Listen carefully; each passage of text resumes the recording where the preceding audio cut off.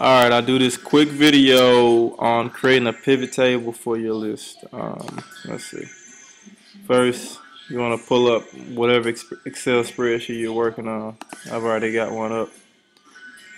You will basically come to this corner, hit that, click that, and go to Data, and hit this little arrow, create manual pivot table. Um, new worksheet means it's gonna create a new worksheet within this one actually. And using table you're using this table which you've already highlighted. Click OK.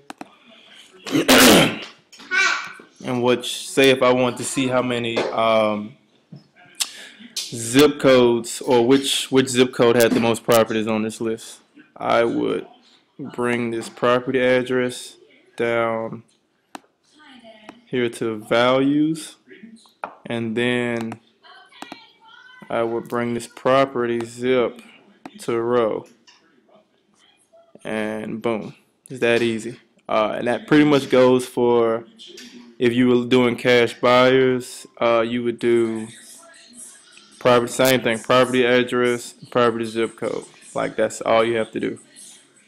Pretty simple